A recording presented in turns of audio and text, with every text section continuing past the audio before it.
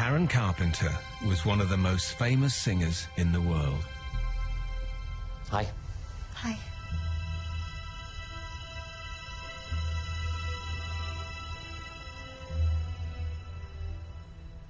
You really want to do this? As one half of singing duo The Carpenters, Karen became a pop icon of the 1970s. Yet by the end of the decade, she was staring into an abyss.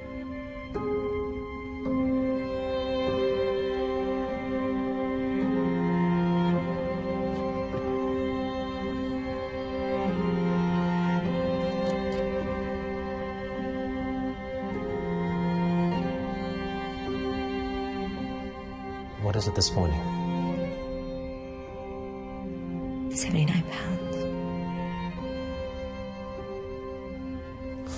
Half stone. Karen, this can't go on. I know. Karen, your heart. It's a time bomb. A time bomb waiting to stop.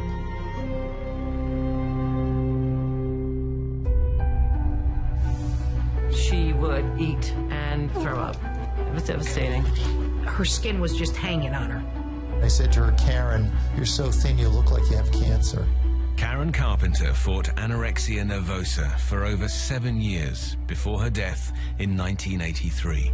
Go to the internet, look up Good Morning America, carpenters, and you go, oh my God, this woman is a stick insect. Karen Carpenter died today of cardiac. Some believe Karen died because 40 years ago, few understood her condition. But did a family power struggle also have an effect on her health? She had an aggressive mother, brother who was terrific with her, but was disappointing in some of the things he did. This is bullshit! Richard always had his thumb on Karen. Please. And that came straight from the mother. Agnes was controlling of Karen. You're not listening to me! She grew up thinking that everyone thought her brother was better. I'm disgusting. She really wanted to please Richard. I let you down. I'm sorry. Somewhere along the line came this speculation of some sort of incestuous relationship. I've got no doubt she was a tortured soul. This is the inside story of Karen's struggle against illness and her own family, You told everyone! told by some of those who knew her best. She wanted to be the perfect daughter, the perfect sister, the perfect wife. It's too many perfects for one young lady to handle.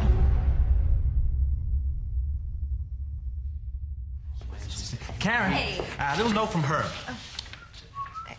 Well, give Richard. Oh, yeah, guy. Okay. Hate In the summer of 1970, Karen and Richard Carpenter have the world at their feet.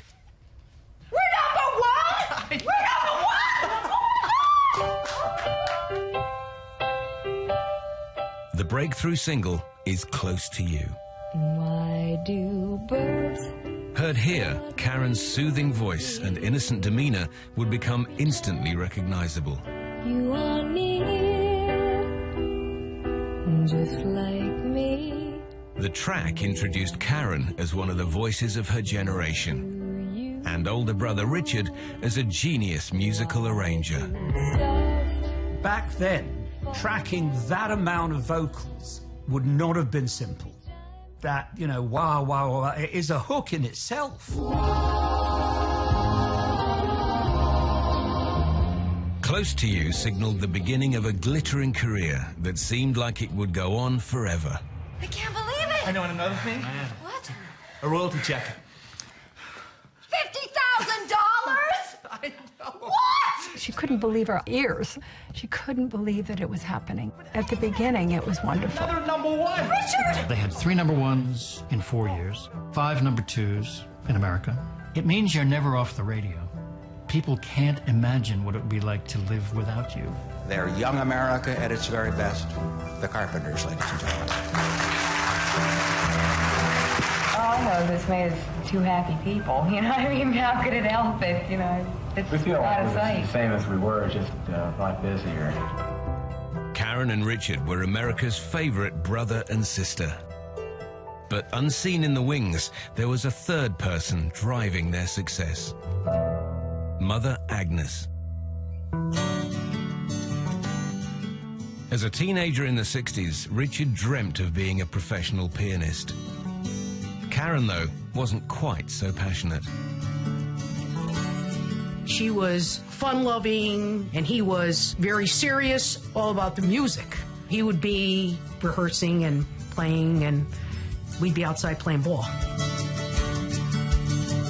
After school, we'd go down her basement because Richard and his father had a phenomenal record collection. And we'd do homework and then we'd listen to music.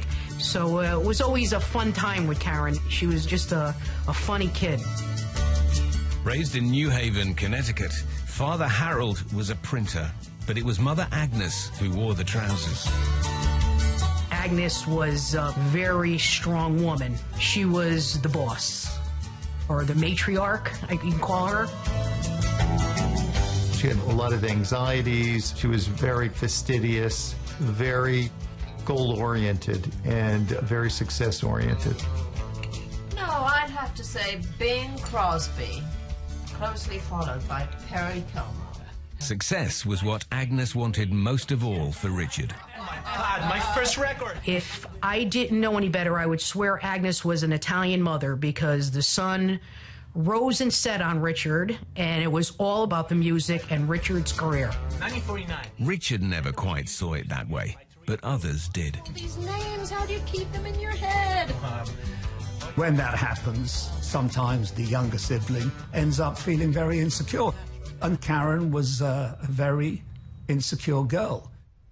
Karen worshipped Richard, something she expressed in a 1982 interview. I did everything that Richard did.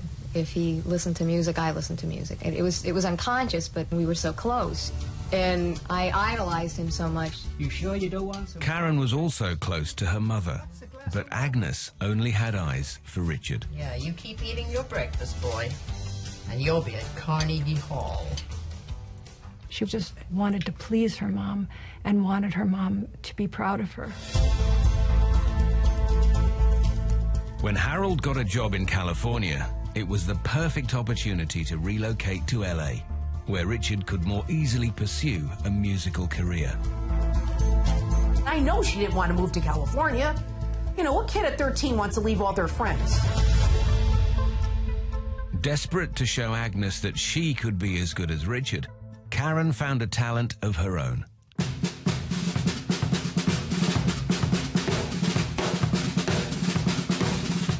Karen joined Richard's early piano groups. They're the Dick Carpenter Trio. In the late 60s, Richard's group won a Hollywood Battle of the Bands contest and managed to get some exposure on TV. And of course, the young lady on the drums is Karen, his younger sister. Now, Karen uh, used to hear Dick play, and she used to get so filled with rhythm that she'd play on the kitchen chairs and the table. But the hits didn't come till she began to sing. It's quite a way down the line that anybody in that family knew Karen could sing at all. What I've got they used to call the blues. Karen's melancholy voice, heard here on the 1971 Rainy Days and Mondays, seems to hint at an inner sadness. In that song, there's an enormous amount of emotion.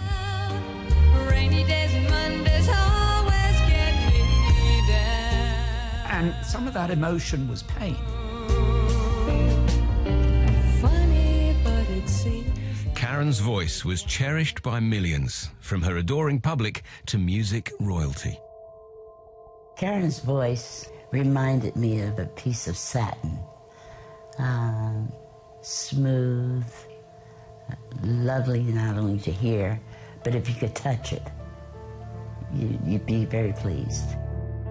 But Karen's been raised to believe that Richard is the only one with talent. I was with Karen one day and we ran into John Lennon, who I'd never met and she'd never met. And he turns to her and says, I just want to tell you, love, I think you've got a most fabulous voice. And he walked on, didn't bother to introduce himself. And she said to me afterwards he couldn't have meant it. And that was Karen's lack of confidence. She doesn't believe that John Lennon could mean she had the most fabulous voice. And that was, that's sad. By the end of 1971, Karen is world famous, but she's not comfortable with stardom. As Agnes and Richard take control of her life, Karen responds by taking control of her body. Oh, and then I saw her and she was 80 pounds. And it scared the living daylights out of me. I was heartbroken.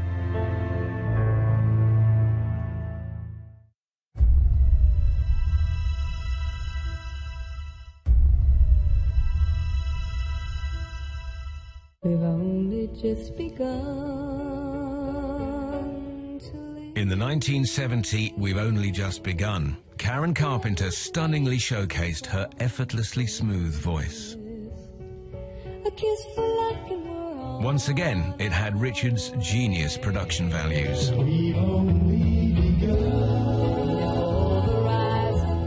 Richard turned that song into one of the great classics of all time. From the start, Richard's in control. On stage, Karen loves to sing and play drums, but Big Brother isn't having it. Karen would have naturally deferred to Richard, not because of gender politics, but because of age. She was the younger one. Karen was not comfortable coming out from behind the drums. She wasn't a front person. She was relatively shy. I saw a big difference, and that's when I think her personality to me changed. It was a nervous Karen who confirmed that coming out front to sing ballads wasn't her idea. Well, yeah, they uh, finally got the message across to me that I, they wanted me to get up. But uh, they, I was the only girl in the group, so they were looking at me.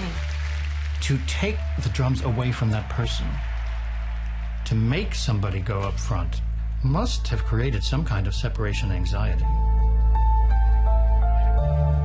Richard and his mother Agnes know that putting Karen front of stage is good for business. The Carpenters, the group, was a family business. I mean, it supported Karen, it supported Richard, and it supported the parents. But family pressure soon proves too much for Karen. I don't feel that Karen set out in her life to be a rock star. It happened and then it just overtook her life. They were touring in Europe and it was excruciating. Everybody wanted them and everybody was booking them. And uh, they had to keep the pace. The 1975 schedule is punishing. Karen struggles to play 118 shows in five months.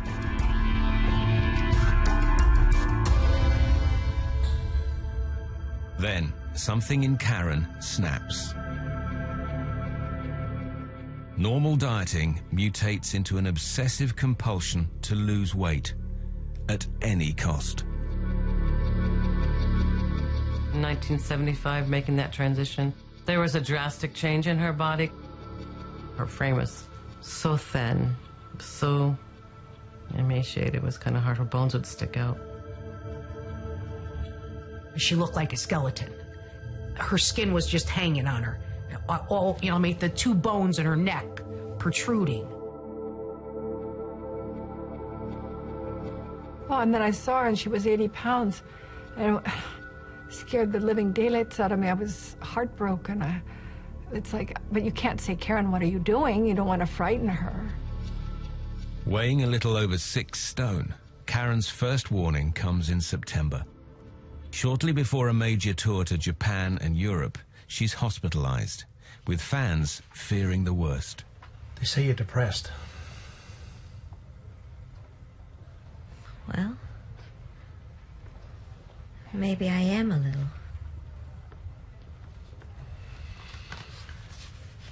They say you have cancer. Richard. I'm exhausted. We've been on the road too long. Karen's dramatic weight loss had started soon after she'd appeared smiling and healthy on the cover of Rolling Stone. Yet the roots of her problem arguably went right back to childhood.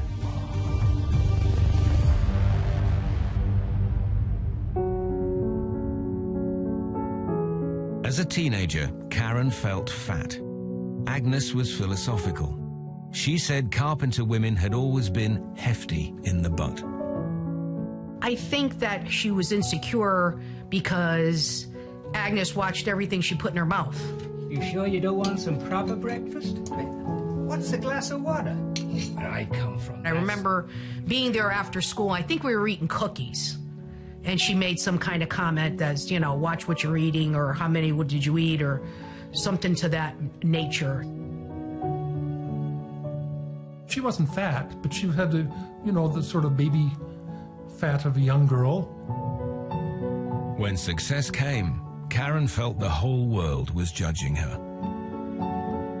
She just felt that she was gaining weight in the wrong places and not in the right places. And she was frustrated by the fact that she couldn't lose the weight in her hips. I knocked on her dressing room door and she was in a state of undress. And I sort of went, oh, sorry about that coming out. And I sort of, and her upper body was skinny. She was very, very slight. But she was very big hipped, which I didn't think she should have been because I thought she was very tiny. Karen knew what people were thinking. So she decided to do something. She was going back to the house to do extra gym work, and she had this machine that was uh, sort of motorized with a, a belt that was supposed to reduce her hips. Despite the workouts, reviews started to get personal. The Chicago Sun-Times said, Karen's not gorgeous, but at least she's trying. But it wasn't just her looks the critics were unhappy with. Things like have just been said about us that are totally absurd, and it's just things that don't make any sense and have no validity to them. It used to bother me terribly in the beginning, and then I said to myself, well, fine, but you just learn to walk away from it. Hurt and confused, by the summer of 1974, Karen has slimmed down to around eight stone. We all complimented her. Wow, Karen, you look so well. Look, oh my goodness, what did you do? And she did look amazing. Agnes recalled how even after being told she looked great, Karen couldn't stop dieting. It just seemed that she was uh, determined to lose weight. She wanted to be thin, like you see the models and everybody are. Sure. And so she'd get down to about 115. She looked perfect. As her weight dropped, Variety magazine couldn't resist a jibe. Karen looks almost like a wraith. She should gown more becomingly. The press had noticed. But had Karen's mother?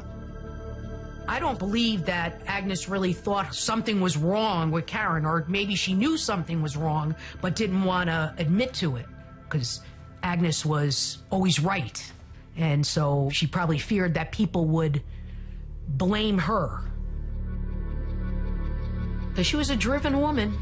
She was out to make Sonny Boy famous. So, Richard, you can't have your sister sick. You know, the Carpenters must go on. By September 1975, doctors hope Karen's hospitalization will be a wake-up call to the star. But Karen's not listening. Karen never admitted that she had a problem. If you try to uh, ask her, you know, head on what is the, what's going on here, she always had an excuse. Richard was very concerned about her illness. I think it was really devastating for everybody and for him. Maybe he was unable to verbalize what he was feeling. We're not going to Japan, are we? No. And Europe? The doctors say we shouldn't go.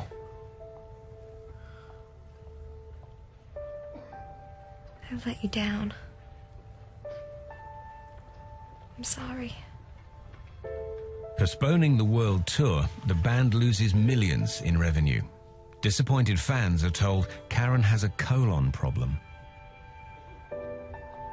But after a short break, she's back at work again. There's a kind of hush. In this 1976 promo for A Kind of Hush, Karen appears to have put on some weight, but her body still appears frail. Lovers in love. When she came out on stage, the people were gasping.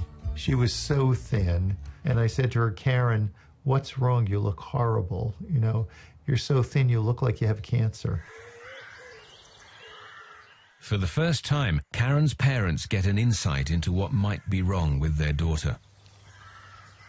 Reader's Digest magazine has published an article about eating disorders.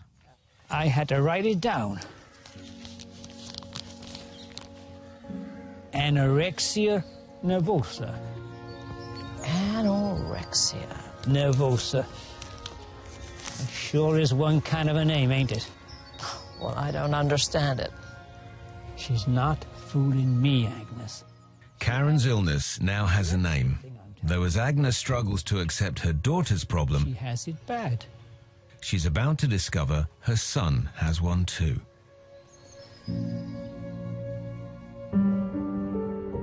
Richard Carpenter had always found it hard to sleep on the road. To beat the problem, in the early 70s, he'd begun taking sleeping pills called Quaaludes. These things were fairly new, and, and the doctor had prescribed them for my mother. And she said, why didn't you, why don't you try one? As, as the years went by, I started to take more. In November 1976, the Carpenters are in Europe to record a live album at the London Palladium. I had to go backstage to the Palladium to get Richard's approval on the album uh, sleeve design. But he was clearly getting up in the morning taking a downer. He sort of shared that with me because he was quite out of it. So the meeting was quite slow. And I was worrying about his judgment. But uh, we got through the meeting and the decision was made. But I remember leaving and thinking, oh, that was much, much harder than it should be.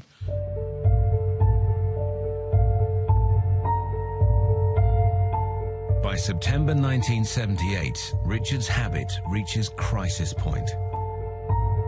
The Carpenters are in Vegas, playing 28 shows at the MGM Grand. By now, Richard's so strung out on Quaaludes, he's struggling to perform on stage. Those pills are gonna kill you, Richard. What did you eat tonight, Karen? Or today? Or yesterday? I said those pills are gonna kill you. Jeez. You can talk. Richard, you can't sleep. Your hands shake, you slur your words. Richard, you're addicted. You know what? You're right. So how about this? I quit. What? Las Vegas. It's over. No more shows. Richard's decision to quit the Vegas shows early is a disaster for Karen.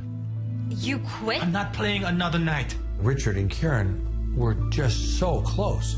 They were like one person almost. What about the band, Rich? We got 30 crew on the payroll. We pay them off. She needed Richard. He was very talented. He was the arranger. He wrote the songs. She looked up to him because he was her older brother. I mean it. It's over.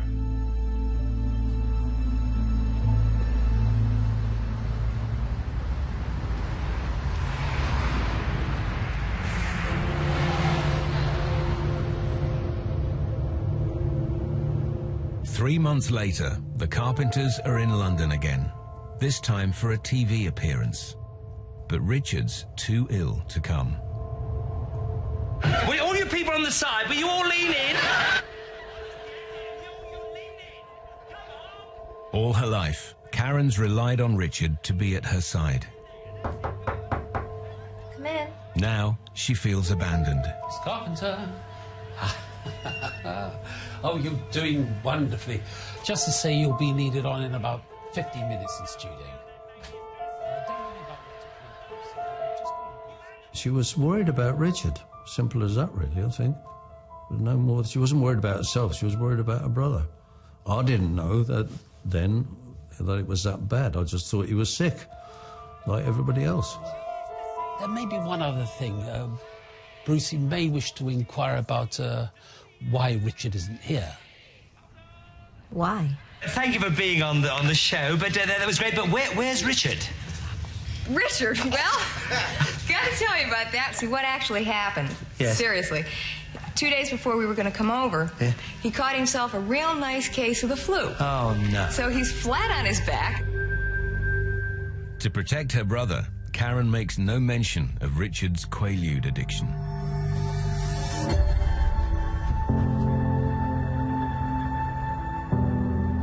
In Los Angeles, Richard's condition is worsening.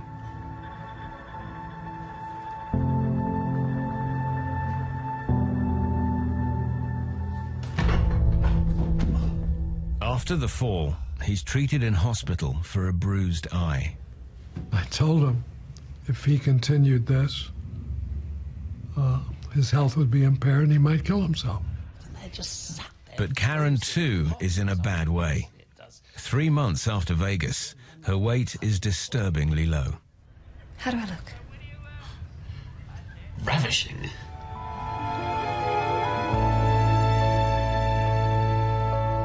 The hardest thing I've ever done. Performing I Need to Be in Love, Karen appears tired and gaunt. There's someone in this crazy world. She was in distress, basically, but I didn't realise how sick she was at all. But she'd lost weight and she was looking stressed. Cut loose from Richard's control and his protection, Karen will retreat into a world of secrecy, self loathing, I found these. and lies. What are they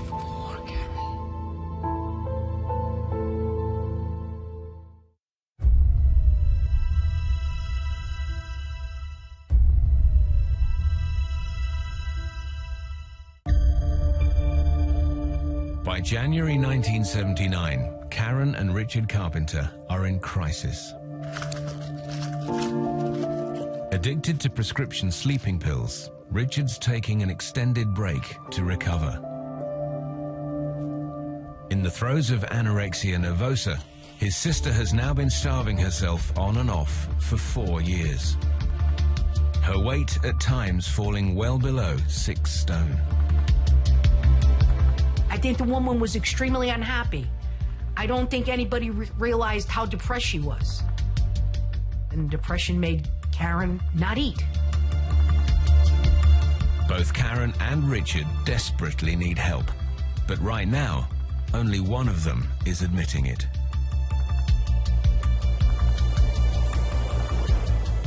On January the 10th, 1979, an air ambulance heads for a treatment center in the Midwest.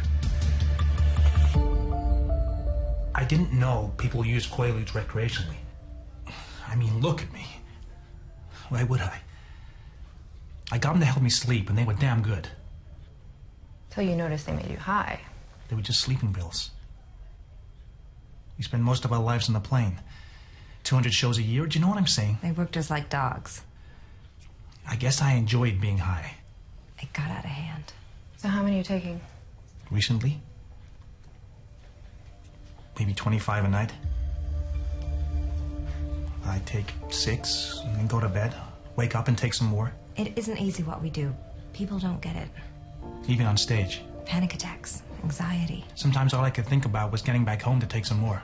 I'm not surprised that Richard compensated for their overactivity. When you think about their first four years, they had over 700 concerts or TV appearances. They would have worn themselves to a frazzle. They were doing too much. Well, we're gonna put you through a detox and we're gonna fix this. You'll be here six weeks, and then maybe you'll take the rest of the year off. Thank you. I know I need help. I know that now. With Richard out of action, the Carpenters go into hibernation. But almost nine years after their first hit, Karen has an idea. Karen, would you ever consider going solo? Solo. Um, w- no, because it's too perfect right now to even spoil. So it's perfect just the way it is. You're gonna do what? A solo album. What the hell are you talking about, a solo album? In her diary of January 79, Karen writes of a confrontation with Richard. Stop this. What's wrong with you? This has been going on for years now. You're starving yourself. You're overreacting. Karen wanted to strike out and see if she could do something by herself. And I believe he was threatened by it. Rich, you know I've always wanted to do my own thing. You need help, Casey. I need you to say it's okay. It was important that he give his blessing that she could do it. She must have felt terribly conflicted, terribly guilty. Richard was a lot like his mother. I want to do this. As controlling as Agnes was, it went right into Richard. Please. Okay, okay, do the freaking album. Yes. And by her doing a solo album, he wasn't in control. It's gonna be great. It's gonna be amazing. Okay. I gotta go. Casey. No disco.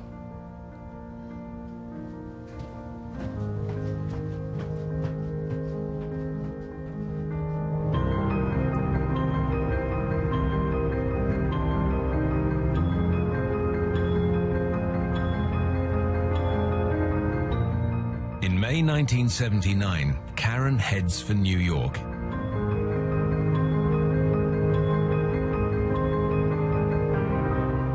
At 29, it's the first time she's ever flown by herself.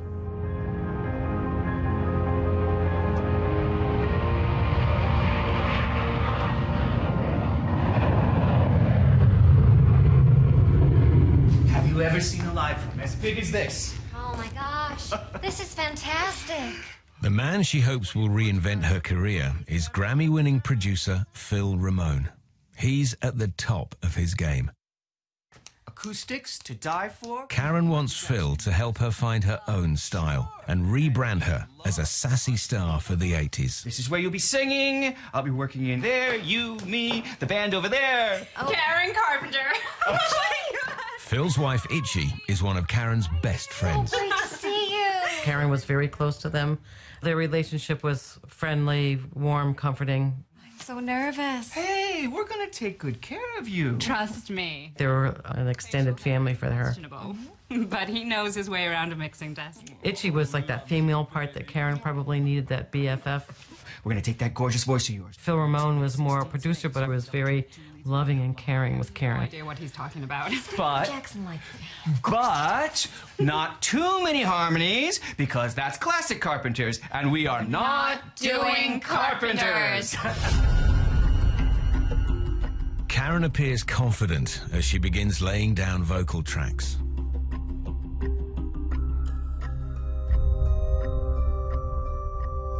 Yet behind closed doors, she's living a personal hell.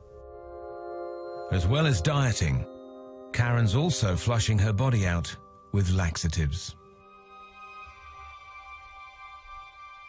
She had this binge and purge where she was bulimic as well as anorexic. And then, you know, she wanted to purge her body of whatever she ate. So either it was coming up one way or going through her body another way.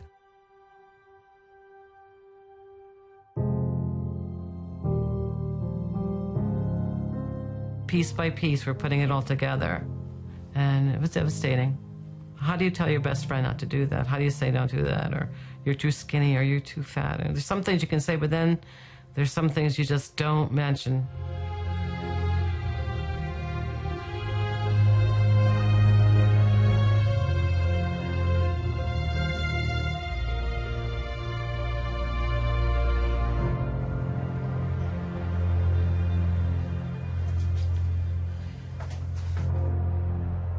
Work on the album progresses, but staying over with Phil and Itchy, Karen's body kicks back.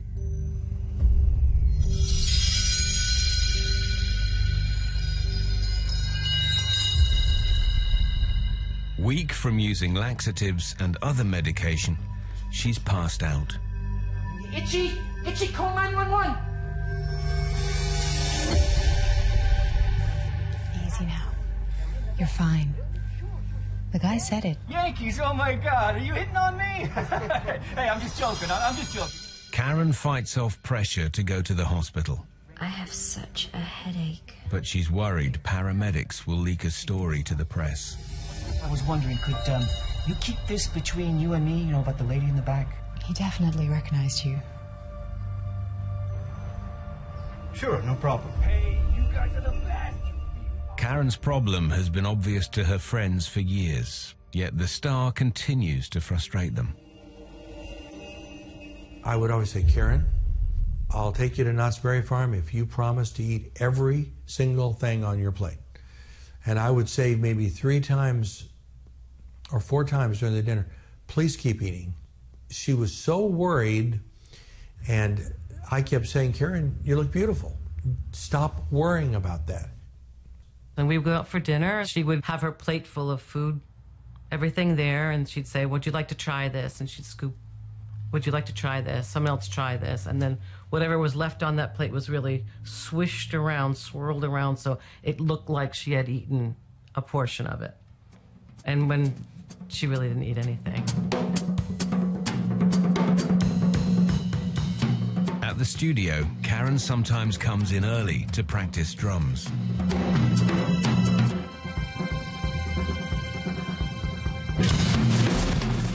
Years after Richard talked her out of playing so much, they're still her passion.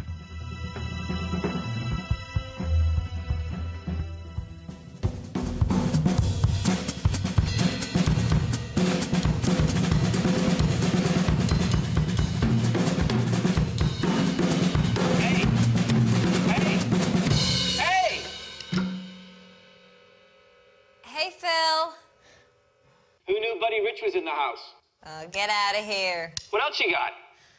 I got it all. How about a session? Anytime, Karen. But you know what I'd rather do?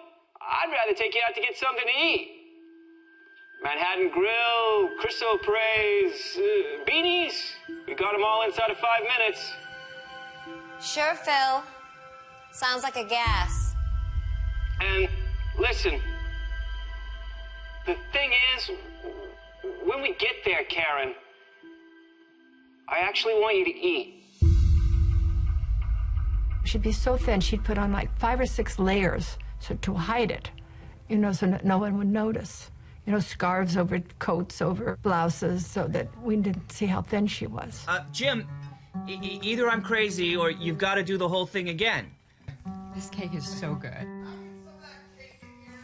I look back then and I don't think we worried enough about it. Warren says he hates you, and no. Did she con us to an extent?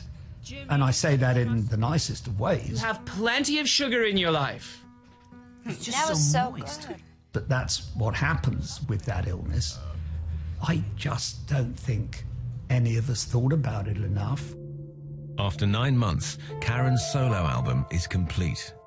But Richard, now out of rehab, KC, hasn't heard any of it. no disco. One of the tracks on the solo album is called My Body Keeps Changing My Mind, and it's a straightforward disco song. The words to it are interesting because she talks about, I know it wouldn't be right, and take me home tonight.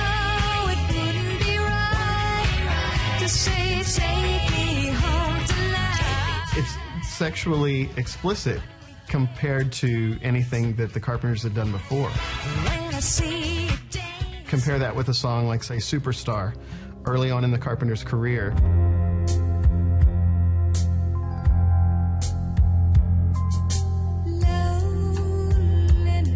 They were very deliberate about not offending anyone, and that was a song that said, I can hardly wait to sleep with you again, Well, the Carpenters didn't want to sing that because it went so against their image, so they changed it to Hardly Wait to Be With You Again.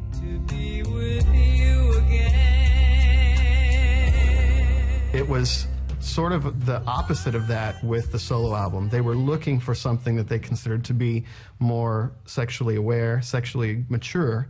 And um, My Body Keeps Changing My Mind is just one of many songs that were overtly sexual. In early 1980, Karen takes the album to record company bosses Herb Alpert and Jerry Moss. It's good. I like it. Hmm. You know, Phil's a great guy. Oh, Jesus the best. That guy's a producer, huh? But artists like us, you know how it is. We make a record, and it has to have a top five sell through single. It's what makes the album go nuts. We don't have that? It was critical of it. Of course. What would you expect from Richard? He's a perfectionist, too. How come the voice is up here all the time? Yeah, sing low, Karen. Money's always in the basement, honey. God damn it, I don't know. It's like a, it's like a dance record. Karen, I, I don't know how to tell you this, but, but the truth is, I'm not sure we've got it. I knew it. I just knew it. Karen, Karen, honey, how long have we known each other? Come on. 400,000 bucks, Herb. Look, Karen. Of my own money. My own money. Jerry, you tell her. I committed to this, Herb. Karen, there is no one doubting your commitment. Karen, listen to me, okay? We have put a lot of work into the Carpenters over the years. Oh, so now you made me, Herb? No. Is that it? No. You made me? No, Karen, you made you. You made you, Karen. You and Richard. It was the Carpenters. This is a good album, Herb. I know it. Yeah, it's a good album. It's a it's a good album. Nobody is saying that this is not a good album. But but there are guys in this room who love you, Karen. They love you, honey, and they're looking at their shoes. They are looking at their shoes. Richard? I feel bad that Richard had to criticize her. I think he could have been a little more supportive because they had a music relationship far beyond everybody really could understand. Asshole. No, Richard, there's no need to be upset about this. Listen, it's not your fault. Karen was looking for her mother's approval too, though some believe that Agnes was also unsure of the album. Tell him Herb agrees, Jerry agrees. Richard Carpenter has always maintained that it was Karen's own decision, supported by the record company, Look, we made a decision. to shelve it. It's not being released.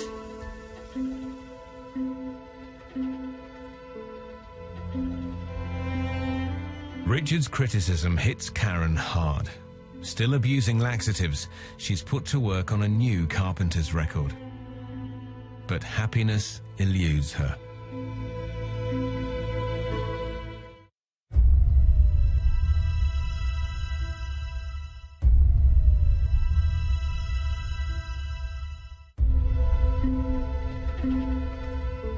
After a failed solo album, in 1980, Karen Carpenter is back recording with Richard. But she's still in the grip of a brutal eating disorder. And at the age of 30, she's also single.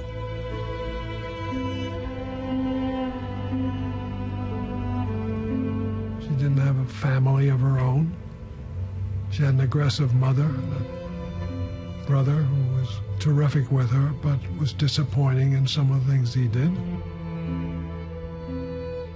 And it was a tough situation. I remember Karen holding my two daughters and saying, I wish I had daughters like this. To me, that was a very emotional moment, but I remember saying, Karen, you still can. But to have kids, Karen needed a man. And that was sometimes a problem for the folks back home. She was shortchanged in a lot of things because she had to live and work with Richard. So her romantic life took a back seat to please Richard in many ways, and Harold and Agnes. So sometimes she was last on the list. Over the years, how many people have thought you were married? Quite a few. How do you A lot of not? times, right? Are yeah, we? well, no, no, we're not. I think the closeness that Richard and Karen had was an asset because they could communicate with their eyes. there's no doubt that they really loved each other. Very close brother and sister. So close, in fact, that in their mid 20s, Karen and Richard even moved in together. A lot of people didn't understand the, the brother sister relationship. They were very often photographed very closely and leaning on one another's shoulders. And so it made a lot of people question what the relationship was. Somewhere along the line came this bizarre speculation of some sort of incestuous relationship that they were, you know, as brother and sister. And you just went, what? Well, it was never talked about, never discussed, never on the agenda. So, Karen, no wedding bells yet? What's going on? Well, there was the guy with the GDO. GTO? Never discussed until this 1974 interview for Canadian radio. Yeah, I get it. I know where it's at. We might as well bring it out. I've listened to the lyrics of your songs. I know that Karen's singing them to you. I know they're about incest. You want to talk about this? Richard immediately denied the allegations. That's ridiculous. He said he didn't even write many of the love songs.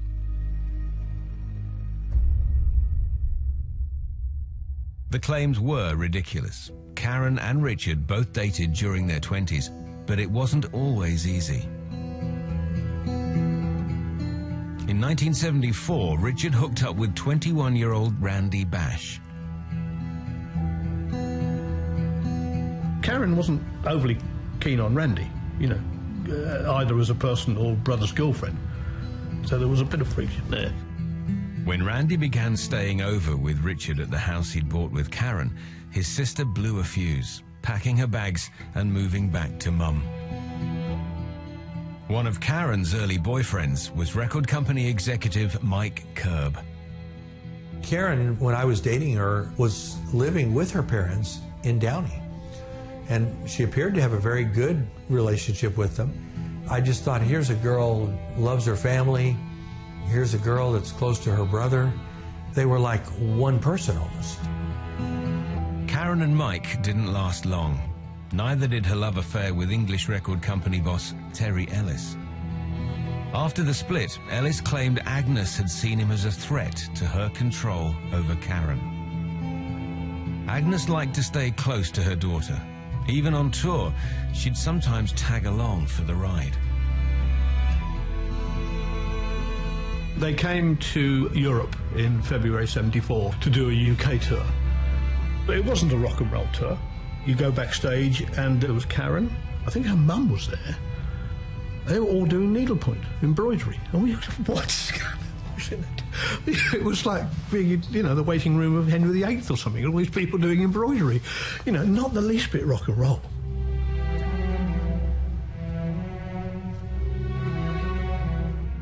Karen, though, yearned for excitement. In London, she began a discreet fling with her publicist, John Softly Adrian. She was cute, and but she was normal, which I wasn't used to really. And uh, a few sparks started flying, so I had really good feelings about it, and I wanted to be with her, that's for sure. Karen was smitten. She invited Softly to stay with her in LA after the tour, but the news was out. I was in my office one night, evening, call from California. It was a representative of the Carpenters to tell me of an affair between a member of my staff, Softly, and uh, Karen. And then it was put to me rather directly, we wouldn't be too happy with this relationship continuing because they wouldn't see it as a as a sensible relationship for Karen to be involved in. Everybody knew that we liked each other, but they were scared. I don't know why they were scared of me, but they didn't want it to happen. I met with Softly immediately after. I said, Softly, you're having an affair with Karen? He said, yes, very much so. And uh, I saw then it was confirmed. I also suggested that it might be a good idea uh, just to go off to the Caribbean for a holiday and come off the tour. So the pressure was put on me. I was told if I went to be with her that I didn't have a job anymore. And maybe I should have told them to stuff it, but I didn't. And so we both ended up saying, well, best forget it then. She had too many people trying to control her, I think. Parents, managers, brother. You know, she had too many people to please, I think. Back in LA, Karen realized that her mother was getting in the way of her life, and living at home wasn't helping. How happy can you be, no matter how much money or fame you have, if somebody's controlling your life and what you do, what you say, what you sing, whatever? It was ridiculous. The mother tried to control everything. She also wanted her to stay in the house, and I urged her to leave the house and to get on her own. Karen finally left home for good, moving into her own condo on LA's Avenue of the Stars. She sent me a note and it said, The bird has finally flown the coop. so that's how she felt. You know, she was in a coop. Freed from her coop, Karen makes it known to friends that she's on the lookout for a man. She asked me if I knew anybody, and there was this really nice looking young man, like a young Robert Redford. And I said, Well, I have a young friend, you know, a young lady whom you might like to meet. And he said, Sure, I would love to meet her. So you gotta trust me on this, okay? Oh, this guy really? is rich, okay? He His name is Tom Burris, and on April the 12th, 1980, Carol Curb fixes up a meeting. Hey, afternoon, ladies. Tom Burris, meet Karen Carpenter. Oh, Karen Carpenter, Tom Burris. Sit Here you down. go. No, I am not going anywhere. I'm staying right here. I want to miss this food world. Hey, can I get a beer, please? Yeah, I'll grab one too. Thank you. Too. Hey, you got to hear this story. So I'm in the car with Tom. This is not 10 minutes ago. And he's like, so Tony, give me the numbers on this chick. Oh. Oh, hang on. I absolutely did not. say. They seemed to have a real chemistry. And he seemed to be really taken with her. Anyway, I. In a 1982 radio interview, Karen recalls her reaction to Tom's apparent ignorance of her. And it came out that he really didn't know who I was. Don't take this the way this is sounding, but um, on the first date, I hadn't known him for an hour. I said, What have you been under a rock for 10 years? Oh, you're going to love this. Go on. He goes, I never heard of the Carpenters. What? He claims he didn't know who they were. I don't know to this day if that were true is true or not. I, I'm sorry. I. Oh my God. Please don't apologize. Leave him alone. I know. Oh, you do? I swear. I mean, where's he come from? I just don't get it. No, it's not. I don't get it. Oh, I'm, fucking- I'm sorry.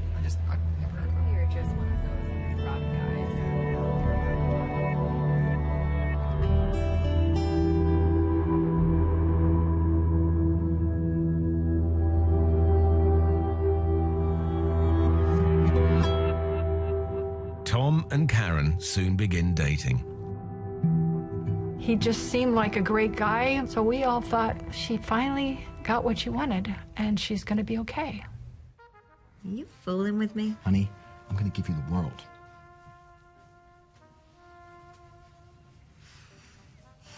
Tom Burris, I am loving this ring.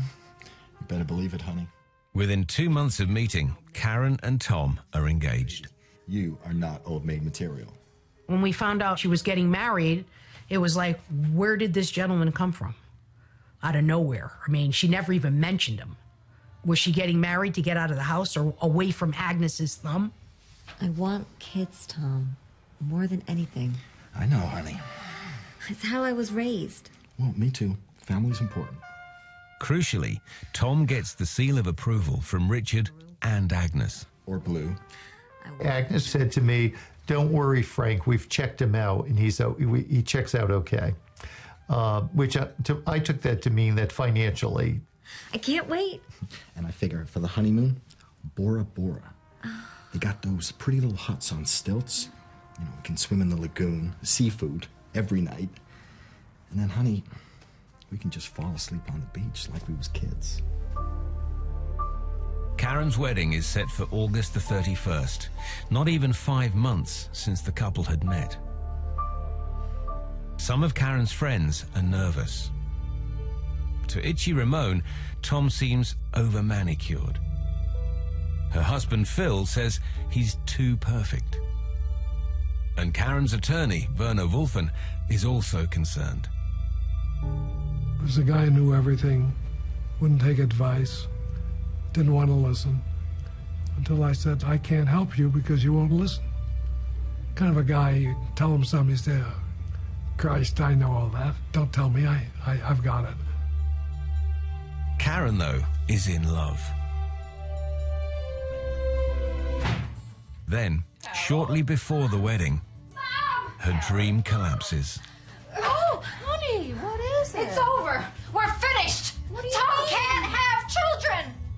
Sure he can. He had a job with his first wife. He's had a vasectomy. This was a huge bombshell. He only just told me. Everybody knew that Karen wanted children more than anything. I am not marrying him. Tom has offered to reverse the procedure, but Karen wants out. Have sent the invites out already. There are 300 guests. On- It's incredible, of course, that Agnes would respond in this way. I don't care. Tom can't have children. It was potentially reversible, but it was something he had kept from her all this time, and she felt really betrayed, He knew. We will sort this out, I promise you. and she didn't know how she could go on. You made your bed. Now you must lay it.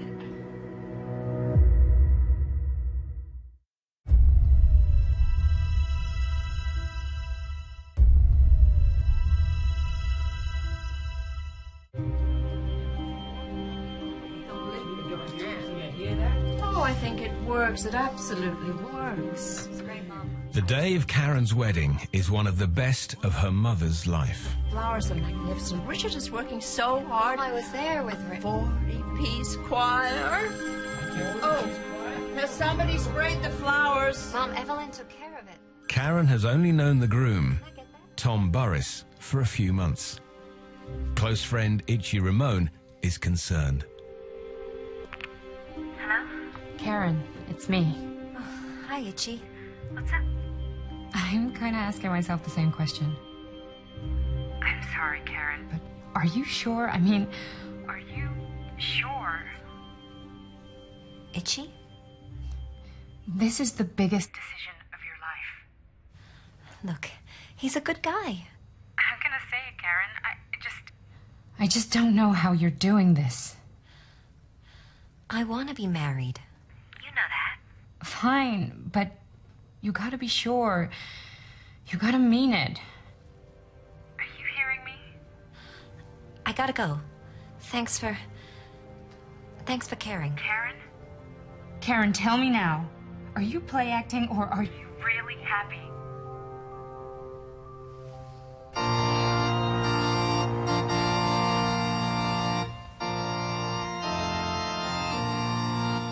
The wedding in Beverly Hills is the society event of the year. This intimate family footage shows that despite Karen's issues with Tom, I will. she's bought into the dream.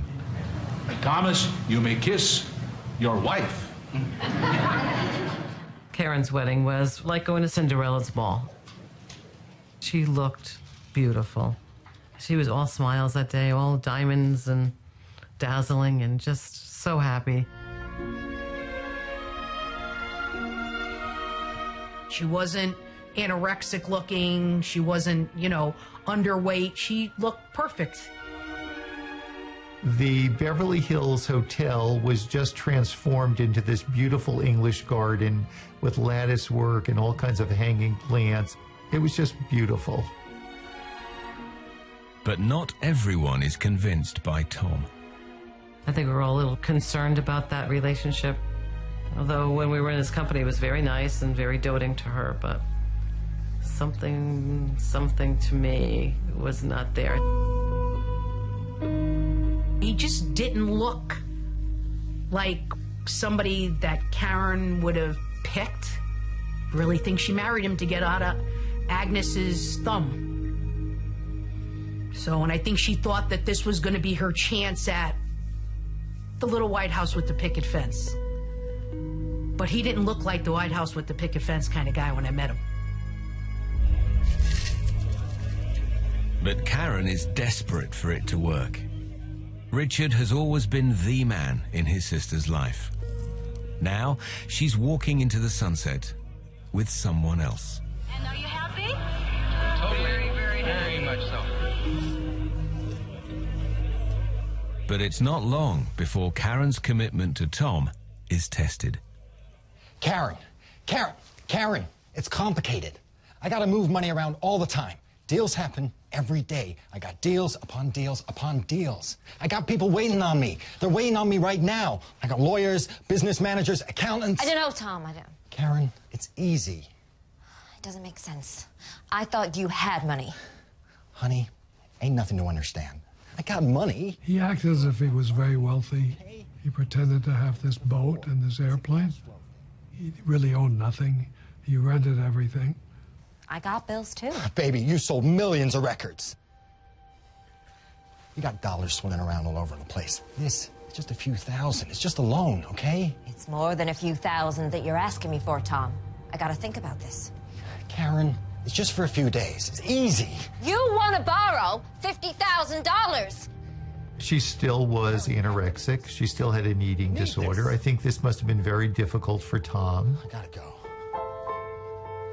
Tom later admitted he did have real estate problems during the marriage. He also said he cared for Karen and tried to get her help with the illness. But the two couldn't work it out. I just know that there were some things that were not right. And Karen was not happy. With the recording and, and straight out. Uh... Almost a year into the marriage, Karen appears skeletal on ABC's Good Morning America. We both agreed to. Uh... She would tell us the good and the bad things. And uh, I didn't like the bad things about the money issues. Money around all the time. I think that he used her financially. Since I got married, which is a year ago yesterday. The day after her anniversary, Karen again appears thin, You know, we just moved down. promoting the Carpenters' new album on TV.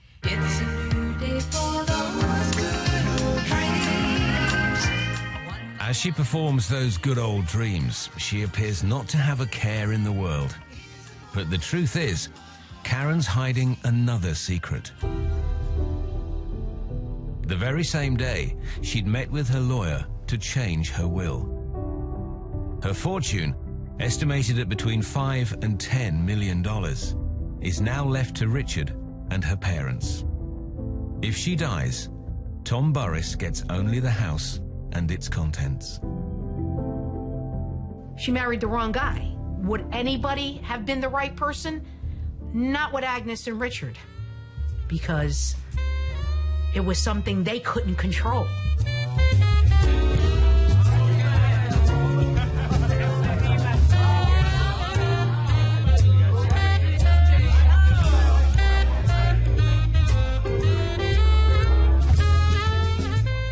November, Harold Carpenter is celebrating his 73rd birthday.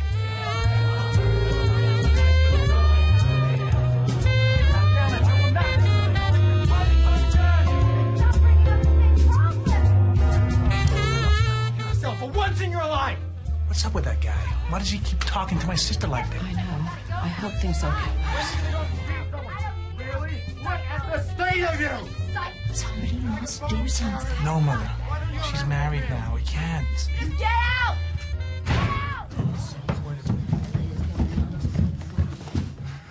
You can keep her. Finally, you left her home one day and said, I'm not going to be your husband anymore.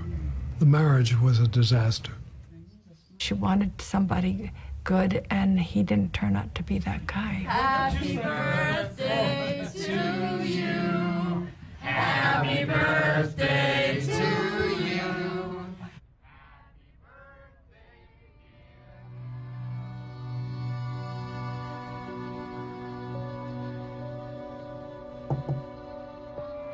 Karen? Karen? What happened?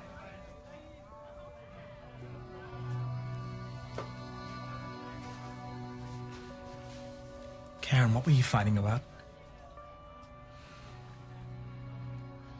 Karen? It's like being haunted. It's the worst thing in the world. What is it, Karen?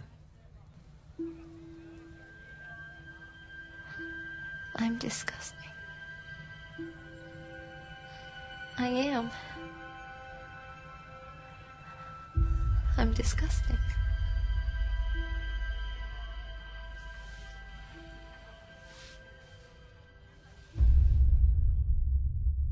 I just felt that this is something that you really, really wanted. Kind of the Grammy of your life. You really, really want that. You want your family. You want a family. You want a loving husband, someone trustworthy. And uh, it failed. In three years, Karen Carpenter has faced Richard's drug addiction, the rejection of her solo album, and the collapse of her marriage. Yet now, she makes a breakthrough.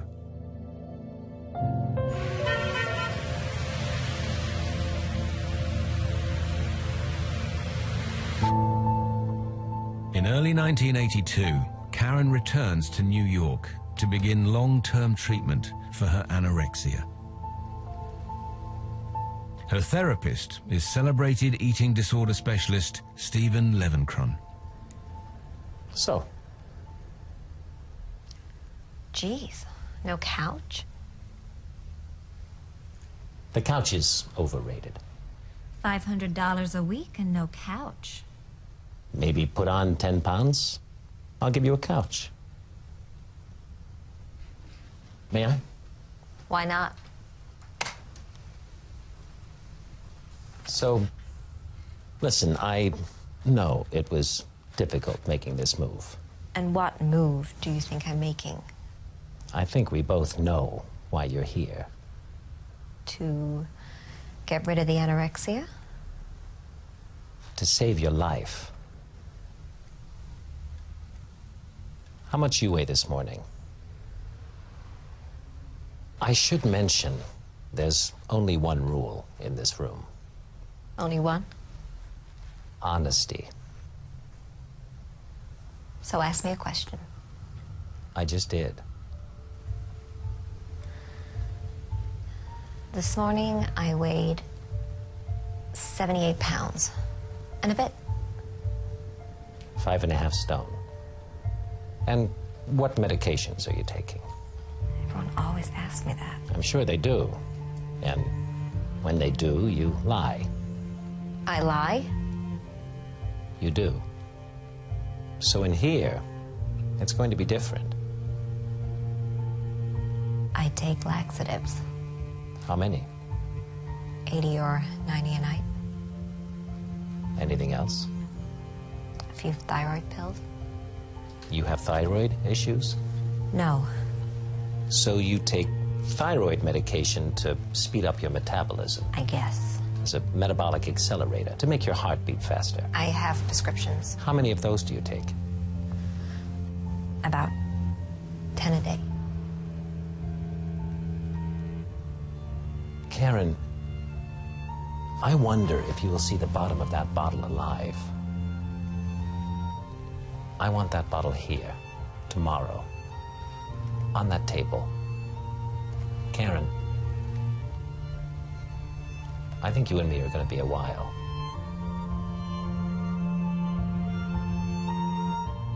Karen begins daily sessions. But Richard is skeptical. He thinks she needs a residential hospital program. For weeks, the two don't speak. Others, though, rally to Karen's side. We were actually staying at the same hotel, the Regency Hotel in New York. She says, Well, I'm here, you know, I'm going through my doctors taking care of me and I'm getting myself back together. I said, That's wonderful. And I asked her, What are you doing for lunch? And come on up to my suite and hang out with me for a minute. And she did.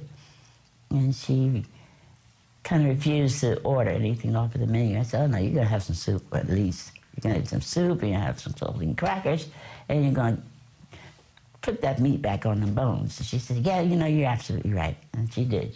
She ate some soup for me.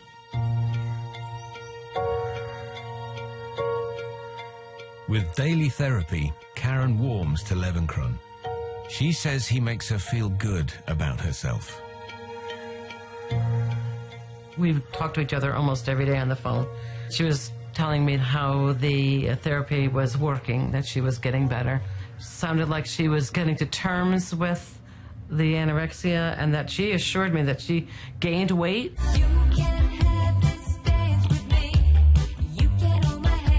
In May, the single Beechwood 45789 is a slightly pedestrian Carpenter's cover of the Marvelettes' 1962 hit. In the video, Karen looks happy and fit.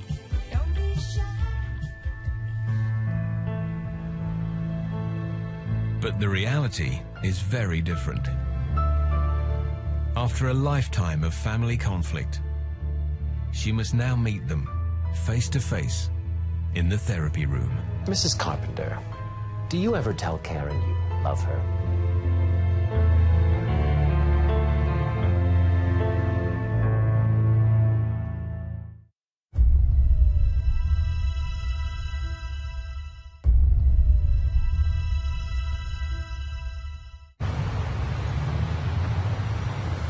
In the spring of 1982, Karen Carpenter is undergoing intensive psychotherapy.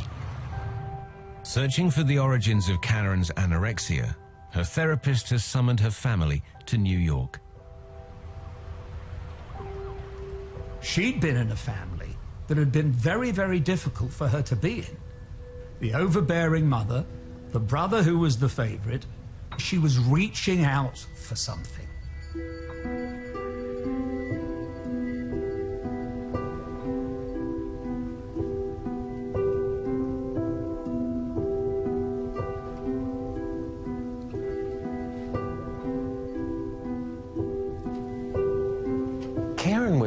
Terrified little girl when she came to see me.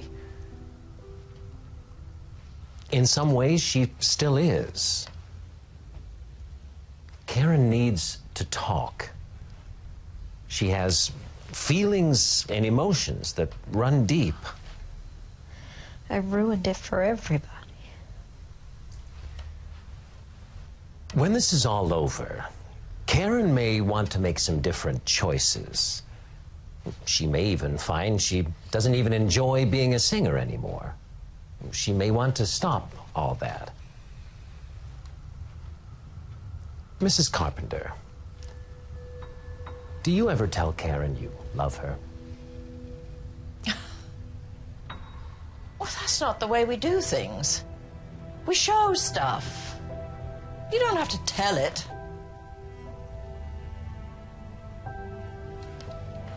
Go ahead.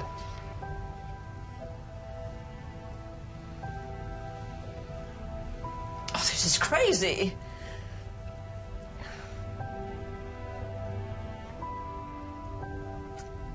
Karen?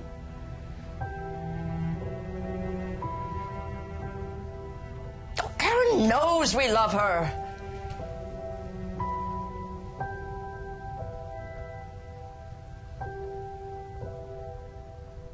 Speaking in 1991, Richard would defend his mother. We are not that type of family. It's just not the way we were raised. Uh, and yet, Karen, I mean, I certainly never doubted uh, my parents' love and commitment to us, and I know Karen didn't either. Uh, I think, if anything, that it actually may have been a little bit too much, uh, almost stifling in, in concern and, and protectiveness and all of that. Despite an uncomfortable session with Agnes, Karen's health improves. She takes time off from therapy to work on new material. She still was anorexic. She still had an eating disorder. So it was always a mixed message. I want to get better, I want to gain weight, but here it was still very difficult for her to accept gaining weight. Karen says she's quit laxatives, but a concerned Levenkron has asked Itchy to keep an eye out. Hey, Itchy. What is it? Do you want to explain these? Oh, gosh. Yeah, um. Laxatives. No. No. Cut the crap, Karen. I found this in your suitcase, in the cupboard. You hid this behind the fruit bowl. No, you see, what it is. Save it, Karen. This one. This one was in your freaking shoes. I thought you said you were finished with all this garbage. I. I just. I have them for my security. I- It's not to use them, it's. It's just so I know I have them. Let's talk about this. My credit card bill. $1,200, Karen. Most of it from taking you out to dinner. I'm so sorry. 1200 bucks, Karen. Down the toilet. Literally down the toilet. I'm sorry. Karen, you are the most truthful, honest person I have ever known. Please, Itchy. But when it comes to your illness, you lie. And you lie. And you lie. And you lie again. No, I'm sorry. Please, Casey, I'm begging you. This has to stop. I love you. I love you too. But I just can't stand to watch you dying.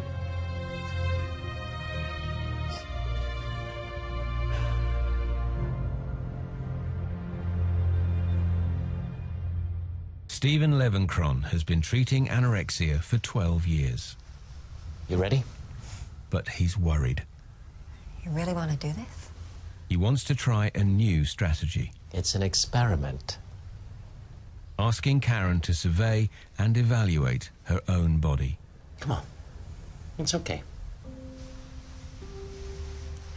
You know, this is kind of pointless.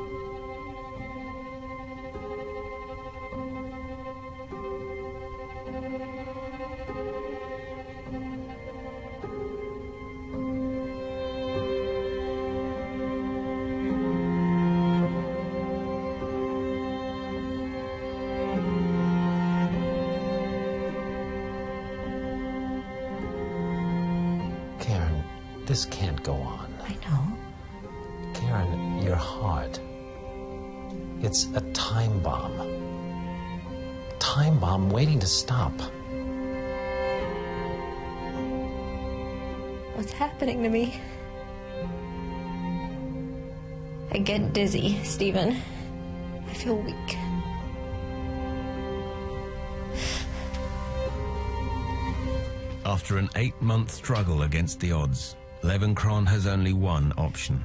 Yeah. Get me to the hospital. Lenox Hill.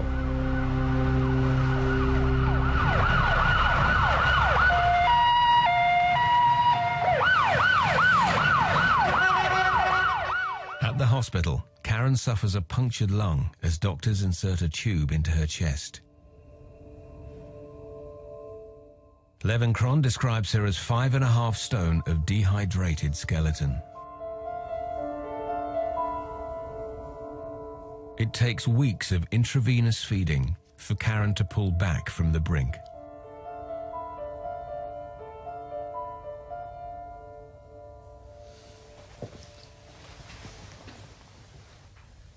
Does it hurt?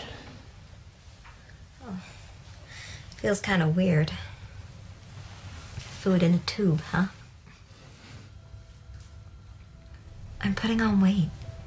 Just watch me. I'll be on top of the world. I know I get mad and yell my brains out. I'm sorry. Levenkron isn't helping you. You're just getting thinner and thinner. Richard, give him a chance. I. I gave him a chance. I watched you come thousands of miles to talk, and it's. It's like you're just not getting better. You're worse than when you started. This is bullshit! I'm putting on weight. Karen, you could have died.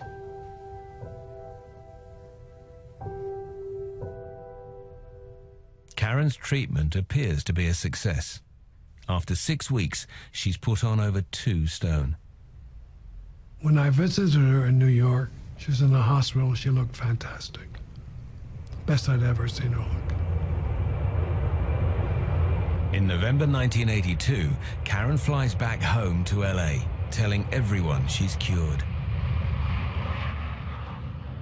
It was wonderful seeing her because she came right up to me and she said, Look at me, girl. I said, Look at you. Of course I'm looking at you. She said, No, look at me. I got an ass. Oh, look at the weight I've gained already. It was wonderful. And I was so thrilled. She was so happy that she was finally becoming the Karen Carpenter that she wanted to become again.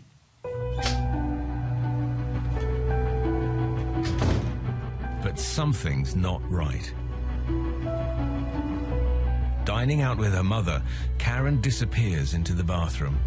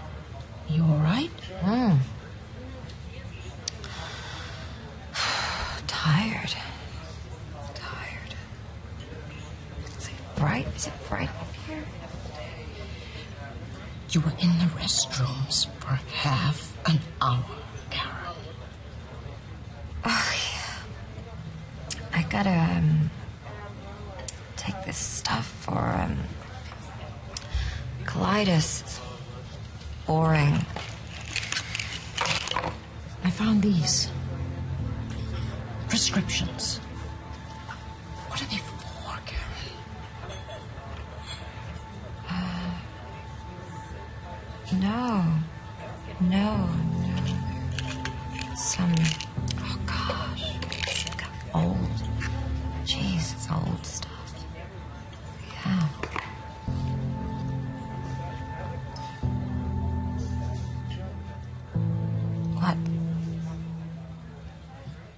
Have you seen it in Billboard? Richard also notices Karen's erratic behavior. Uh-huh. When he confides in his attorney, Werner Wolfen, Yeah. his sister feels betrayed. I'm in the studio.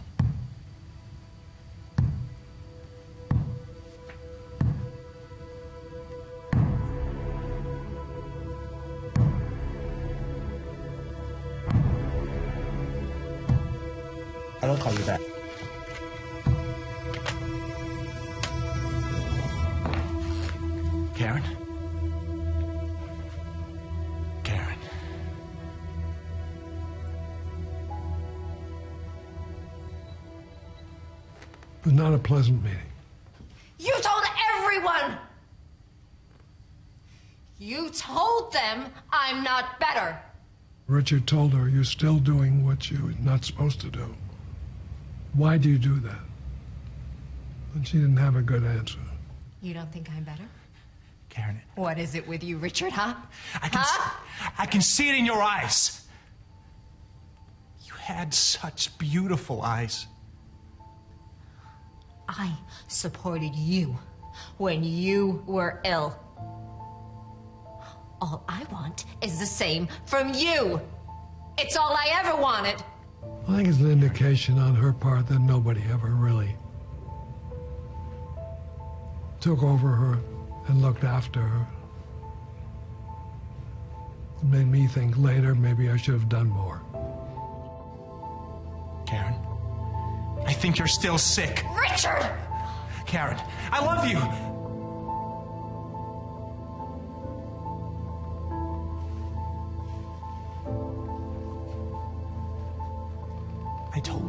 Because I love you.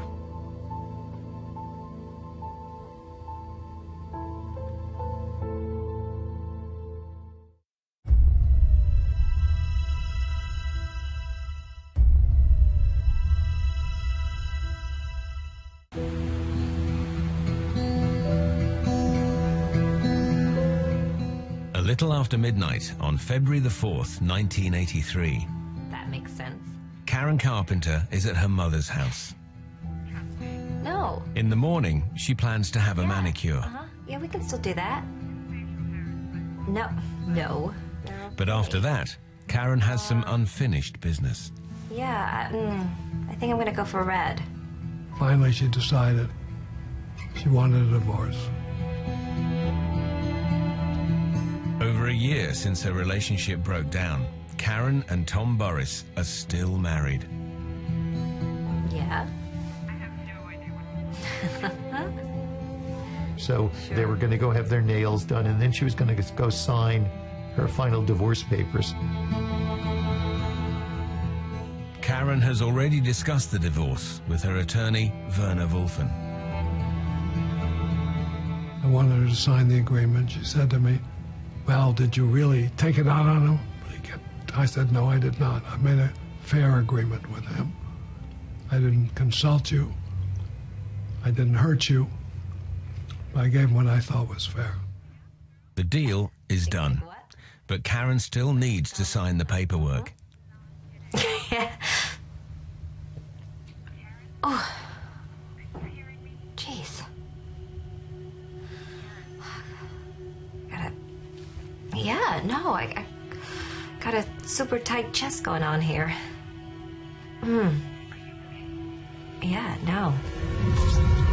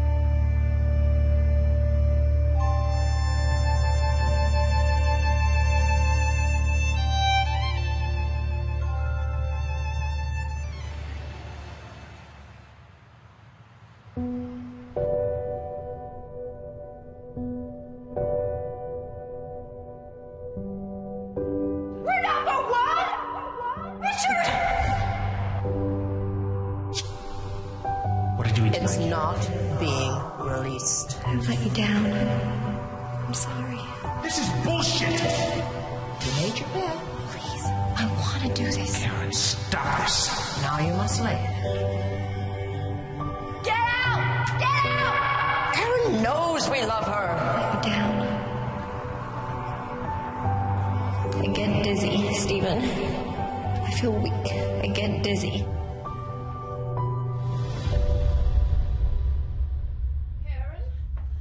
Karen!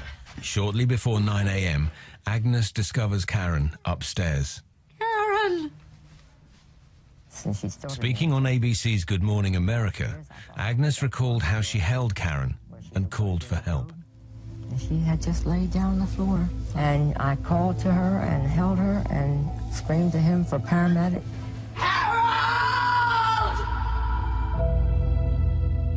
Agnes Carpenter exerted a powerful and controlling influence on both her daughter's career and her life.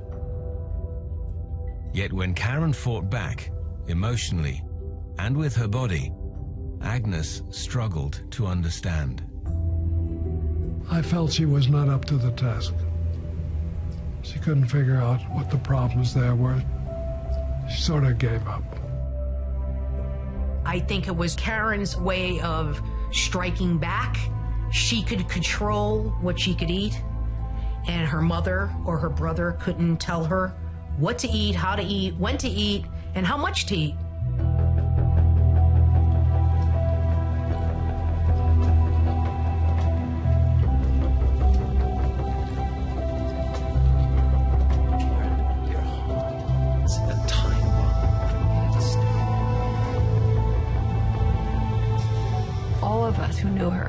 Wish we had done more.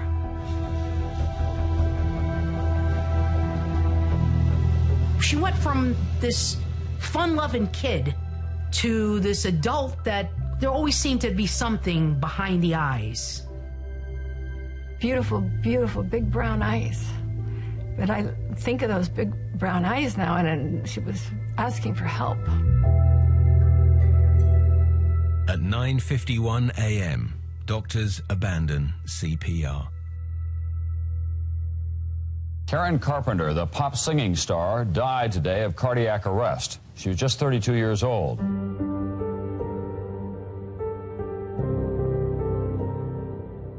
How do I feel? Desperately, desperately sad. They announced over the radio that Karen Carpenter had died. And oh, it was the worst feeling. And I remember uh, falling on the floor, and I just remembered, like, it's just a devastating, empty feeling. I almost fainted because I thought she was on the road to recovery. I did not think that she was at risk of dying. Karen's post mortem revealed her heart had been damaged by a substance called emetine. It was found in a pharmacy drug used to induce vomiting. Karen's abuse of emetine and other drugs was triggered by a disease she'd battled for over seven years.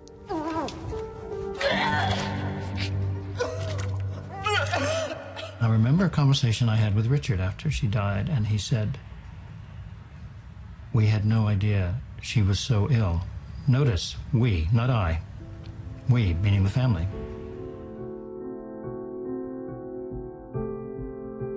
I know, and, and, and I've known for years, that I did the absolute, and my family did, and our friends did, the absolute most they could have done.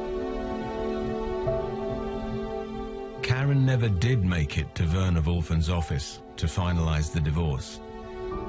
She was still married when she died. Her mother called me and told her that she was dead. I couldn't believe it. Look, I tell you, it's like losing a child. Because in a way, she was a daughter. I sometimes wondered whether you wouldn't really say she died of a broken heart. After she died, the New York Times said, if anorexia is classically defined as a young woman's struggle for control, then Karen Carpenter was a prime candidate. The two things she valued most in the world, her voice and her mother's love, were exclusively the property of Richard. At least she could control the size of her own body.